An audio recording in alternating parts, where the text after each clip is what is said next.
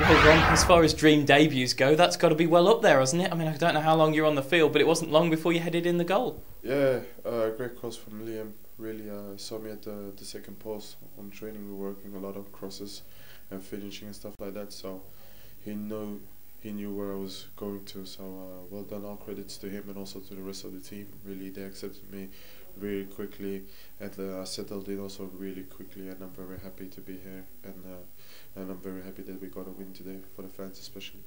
A great reception from the fans after that goal as well. They seem to have taken to you very quickly. Yeah, really. Uh, I love the fans already. Really, they are like uh, similar to the Chelsea fans who like take you really in the arms. But now it's up to me and up to the team to perform week in week out for them, because they pay every week tickets to come and watch us. So we have to keep on performing, and hopefully next week we get a win again. You've played many games at the Hawthorns over the years. Have you ever heard an atmosphere like the way it was after you scored?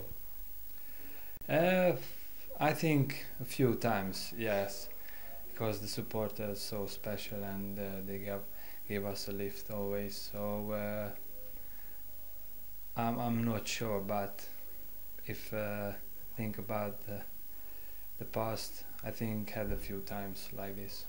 You say they're special supporters. Did they keep? Did the thought of playing for them again keep you going during the last twelve months? Yeah, obviously last season was very difficult for me.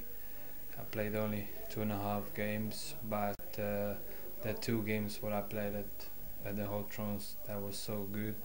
So that was a, a, extra motivation for me to come back and play a game for uh, for the club, and uh, yeah, it's great feeling to to play against uh, against Liverpool today. Home we scored, I scored, and uh, we we won the game not comfortably, but uh, in a good way.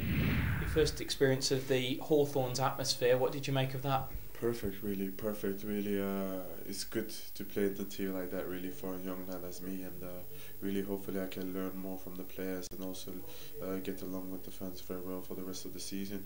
I came here to work and I came here to perform for the club, and especially it gives me it gives me a boost to play more and to do more, more my best in training to perform well for this club.